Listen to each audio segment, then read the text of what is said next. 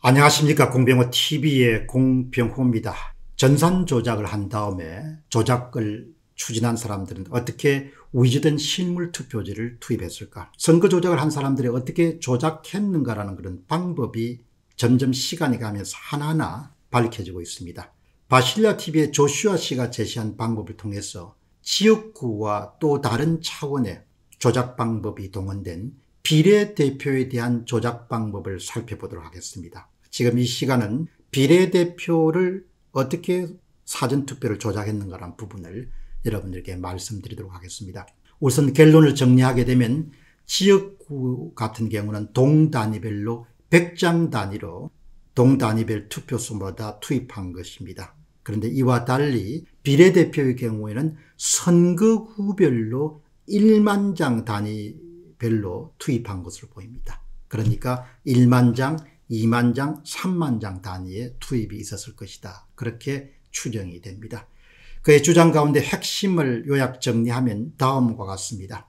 비례대표의 경우에는 선거구별로 그런 사전 득표율 빼기 당일 득표의 그 차이값이 아주 비뚤비뚤한 모습으로 차이가 큽니다. 이것이 지역구는 동단위별로 삐뚤비뚤했는데 비례대표의 경우는 선거구별로 그렇게 삐뚤비뚤한 현상이 아주 뚜렷하게 나타납니다. 여러분이 한번 지금 도표를 보시기 바랍니다. 더불어민주당의 위성정당인 더불어시민당의 사례입니다. 비례대표의 구 단위별 차이가 상당히 크다는 사실을 알 수 있겠습니다. 왼쪽에선 종로구, 중구, 용산구, 성동구 같은 경우는 사전 득표율 빼기 당일 득표율 그 차이가 플러스 16.38%, 마이너스 0.24%, 플러스 4.57%, 마이너스 1.10%입니다. 그럼 여기서 우리는 자연스럽게 왜 이렇게 선거구별로 차이값, 사전 득표율 빼기 당일 득표율이 이렇게 삐뚤삐뚤 천, 천방지축을 기록하고 있는가 이런 데 대해서 궁금함을 갖게 됩니다.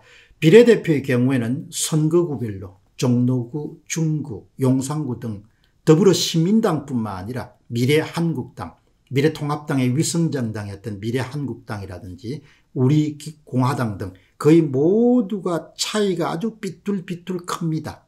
사전 득표율 빼기 당일 득표의 차이가 아주 큽니다. 비례대표의 경우에는 선거구별로 삐뚤삐뚤한 이유가 무엇일까? 바로 이 부분을 바실리아 TV가 아주 잘 분석해냈습니다. 우선 첫 번째는 지역구는 동별로 삐뚤삐뚤한 이유와 거의 유사한 것이 비례대표에는 선거구별로 삐뚤삐뚤한 현상입니다. 다음 두 번째는 선거구별의 투표사를 숫자를 그러니까 투표에 참여한 사람들을 고려하지 않고 낱장 단위가 아니라 1만 장, 2만 장, 3만 장 규모의 위조 사전투표지를 비례대표의 경우는 대량으로 투입했을 가능성이 높다는 겁니다. 이 점에 대해서 조슈아 씨의 주장을 이렇게 정리하겠습니다. 비례대표의 경우에는 선거 구별로 낱장이 아니라 동일 단위로 투입했습니다. 그런데 선거 구별로 유권자 수가 다르기 때문에 사전 득표율과 당일 득표율 사이에 삐뚤삐뚤한 현상이 발생한 것으로 보입니다. 저는 지역구의 경우는 동 단위별로 100장 단위로 투입한 것과 같이 비례대표의 경우는 선거 구별로 1만 장 단위로 투입한 것으로 추정하고 있습니다. 5천 장 단위일 수도 있지만 훨씬 더 근사한 값은 1만 장이 될 것입니다. 이렇게 이야기를 또 합니다. 세 번째는 위조된 사전투표지가 대량으로 투입되면서 4.15 총선 이후에 다음과 같은 통계적 변칙이 여러분이 보시는 이미지처럼 관찰됩니다. 이것은 그야말로 이 사전 득표율 빼기 당일 득표율 차이값이 0을 중심으로 종 모양으로 분포되는 것이 그것이 바로 통계적 법칙에 부합되는 현상입니다. 그런데 큰 통계적 변칙이 발생한 겁니다. 통계학에서 이야기하는 통계적 변칙이라는 것은 자연 숫자가 아니라는 겁니다. 여기서 자연 숫자라는 것은 유권자들이 외부의 개입이 없을 때 일어나는 선거 데이터가 만들어지지 않았다는 이야기입니다.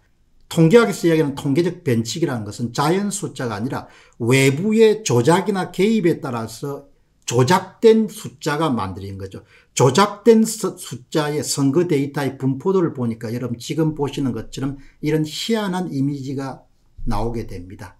이것은 이런 그래프를 보는 순간 4.15 총선 이후에 이런 그래프를 보는 전문가들은 4.15 총선의 비례대표는 총체적으로 조작되었다 이런 결론을 내린 겁니다. 그리고 이런 결론에 부합되는 재검표 현장에서 발견물이 나온 것이 6월 28일이라는 것이죠. 한번 이런 그래프를 보시기 바랍니다. 친여당 위성정당은 모두 가운데 있는 0을 기점으로 해서 다 오른쪽에 분포되어 있습니다. 이것은 오른쪽으로 밀었다는 것이죠. 누가 밀었냐? 조작하는 사람들이 사전투표지를 위조해가지고 대량으로 투입해가지고 오른쪽으로 밀어줬다는 겁니다. 나머지 친야당 위성정당은 모두 0을 중심으로 해서 왼쪽이 분포됩니다. 이것은 표를 빼앗았다는 겁니다. 그 사람 표를 소각하거나 파쇄하고 난 다음에 그것 모두 다 빼앗아가지고 다 누구한테 줬습니까? 친여당 위성정당을 준 겁니다. 그러니까 이런 테이블, 이런 도표는 이미 4.15 총선 이후에 광범위하게 확산됐습니다. 이런 도표를 보고서도 부정선거가 없었다고 주장한 것은 머리가 없거나 제정신이 아니거나 돌았거나 미쳤거나 아니면 무식하거나 아니면 야만적이거나 그렇게밖에 볼 수 없는 것이죠. 그러니까 일부 그 유튜브 채널에서도 보수농객이라는 사람들이 이런 테이블을 보고서도 악을 쓰면서 방해하고 한 것은 그건 진짜 제가 볼 땐 X-man들인 거죠. 정신 나간 인간들이라고 밖에 볼 수 없습니다. 통계학은 과학이지 않습니까? 수만 명의 유권자들이 직접 찾아서 표를 던진 선거 데이터가 조작이 안 됐으면 모두 다 0을 중심으로 해 친여당, 친야당이 다 분포가 돼야 되는데 이렇게 인위적으로 표를 몰아줬기 때문에 친여당은 다 플러스 쪽에 친야당은 다 마이너스 쪽에 된 거죠. 이런 통계 분석을 보고도 문제가 없다는 것은 그야말로 무식함 그 자체라 볼 수 있는 것이죠. 그런데 그냥 문제 없다는 정도가 아니라 마치 발악하듯이 악을 쓰듯이 선거 문제가 없었다고 주장하는 이준석이나 일부 유튜브 채널의 그런 조모 씨나 정모 씨 같은 사람들은 정말 대책이 없는 거죠. 비지성, 비이성, 비합리, 비과학, 비논리, 비이론입니다. 그야말로 엑스맨들이 아니면 절대 나올 수 없는 현상인 거죠. 제가 무슨 감정을 투입해가 말씀을 드리는 것이 아니고 그냥 선거 데이터는 숫자입니다. 숫자. 조작되지 않은 숫자는 아주 아름다운 그런 종 모양의 분표를 0을 중심으로 해서 보이게 되는 것이죠. 근데 이렇게 인위적으로 밀어붙였다? 그는 표를 투입해서 밀어줬다는 겁니다. 여당을. 그럼 야당은 왼쪽으로 확실히 밀었다 표를 빼앗아서 여당한테 밀어줬다는 겁니다. 이런 걸 보고도 어떻게 판별을 못하면은 그거는 지도자는커녕 전문가는커녕 농경은커녕 아마 그냥 그야말로 제가 볼 때는 참 무식함이란 그런 표현 이상이 있으면 표현하고 싶은데 뭐 더 이상 표현이 없구먼 추가적인 분석 작업이 필요하겠지만 조슈아 씨는 비례대표에서 행해진 조작 방법을 다음과 같이 정리해서 제시합니다. 우선 첫 번째는 비례대표 선호 비율 예측입니다. 그러니까 두 번째는 필요한 투표수 확정입니다. 승리에 필요한 투표수를 몇 표가 필요하다. 그러면 사전투표가 대부분 그 역할을 담당해야 되기 때문에 위조된 사전투표지를 몇 장 정도 찍어야 된다는 게 나오는 겁니다. 세 번째는 1만 장 단위로 가짜표를 제작한 겁니다. 만장, 2만 장, 3만 장, 4만 장 해가지고 그 세트로 그표한 장마다 모두가 다 정해져 있는 겁니다.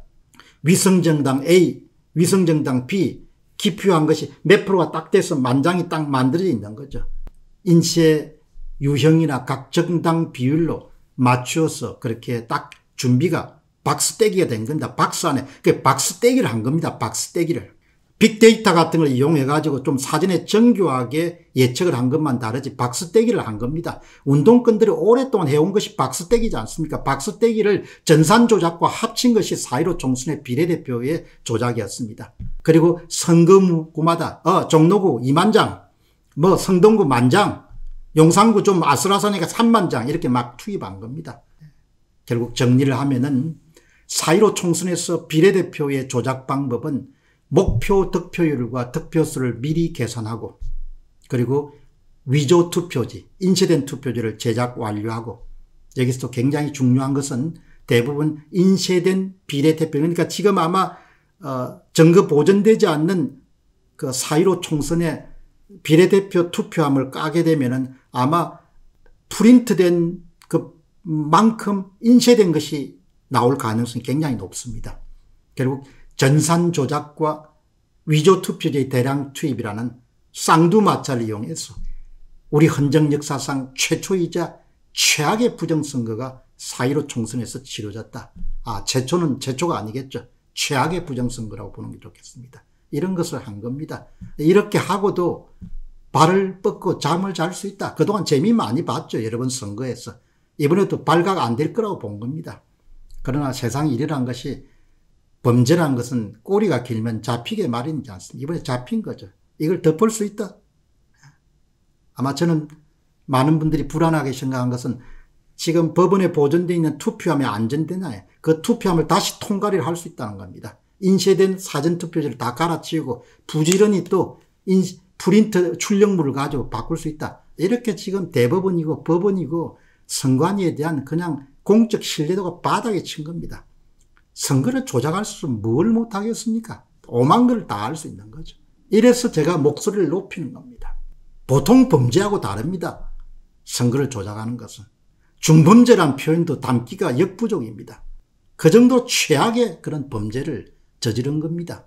이런 범죄를 저지르고도 2월 28일 재검표 끝나고 2주 3주가 지더라도 대부분이 지금 입을 다물고 있는 겁니다. 정말 나쁜 사람들입니다. 정말 나쁜 사람들입니다. 이 정도가 왔는데도 선거에 문제가 없다. 그거는 정말 제가 볼 때는 있을 수가 없는 일인 거예요. 공병호 TV의 공병호였습니다. 감사합니다.